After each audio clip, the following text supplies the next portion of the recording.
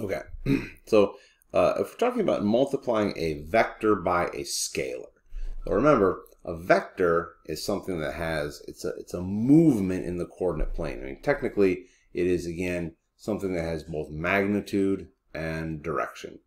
Um, but for us, magnitude is length and direction is just, you know, where we're going in the plane. It's a movement in the plane. And we ask ourselves, like, what does it mean to multiply that by a number? A scalar is just a number, like 5 or 11 or 15 or something like that, just numbers. Um, so what does it mean to multiply a movement in the plane by a number? Okay. Um, and well, what we can take a look at an example here and think about that. I've got a vector here. It's uh, 4, 2. And I could take that vector, and if I want to double its length, like we talked about before, I get a new vector, which is 8, 4, which goes in the same direction, but is twice as long. Now, this 8, 4 here, I could represent this a couple different ways. Um, I could represent it as 8, 4, which is really 2 times 4, 2 times 2. Or I could think of it as 2 times the vector, oh, that should be a 2, 4, 2. So, and so I could multiply the two, each component by 2 itself to get 8, 4. So I take 4, 2, and I multiply the x and y components separately by 2 to get 8, 4. Or I could think of it like, well, I've got, you know, one of these followed by another. I got two of them.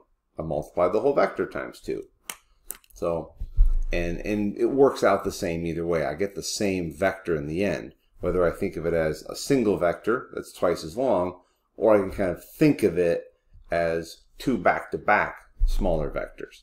And the same would apply with any sort of scalar. I could you know multiply it by negative 3 or pi or, or square root of 2 or whatever.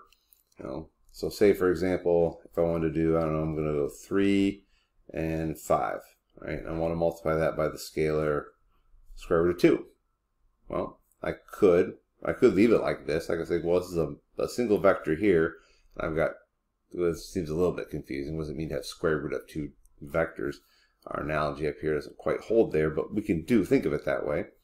Or I can bring it inside and go 3 square root of 2, 5 square root of 2. So I can think of this as a single vector that goes to, you know, goes these two distances. This is our change in x, that's our change in y. So the, this is a vector that moves an object three times the square root of two units to the to the right and five times the square root of two units up.